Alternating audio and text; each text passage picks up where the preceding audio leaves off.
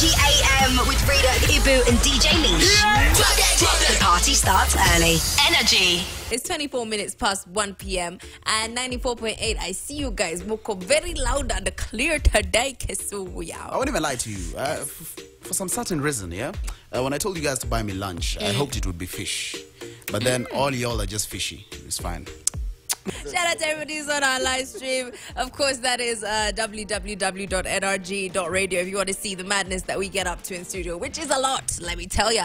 Uh, shout out to all our Twitter people. We're talking about, you know, the richest man in the world, how he's divorced his Yeldem. Yeah, some gal them. Kinyambis. Kinyambis. Yes. And she's taking half of his fortune because they didn't sign a prenup. Yeah, David Neto on Twitter is saying, I will go on to buy the courts, Mm-hmm. buy the lawyers, buy the judges, do the divorce case eh, eh, to ensure that that divorce case yani, is ruled in my favor. So you'll because spend you know, more money than you'll even have to give your wife. not really, fam. You're Imagine, stingy. listen, 69, 69 billion. Mm. Yeah, if you give uh, this uh, judge, lawyers, and the court a Yeah. billion, just say for upkeep, Yes. a billion shillings.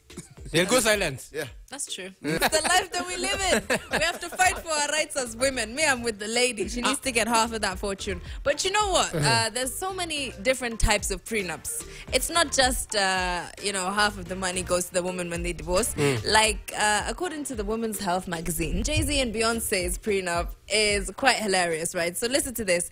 Uh, Beyonce gets $5 million for every child she has. Wait for it. She also additionally earns 10 million if the marriage ends before two years and if that doesn't happen she gets a million dollars every year that they, they're married hmm. and that lasts for 15 years Chai. So, if if Beyonce gets divorced in a period of two years, yeah she gets gets 10 million directly that's a business. Ibu, That's a business. how many vinyambis have left you this year? What have you gotten from them? No, this year is only Apart one week and two days. So be precise. Heartbreak.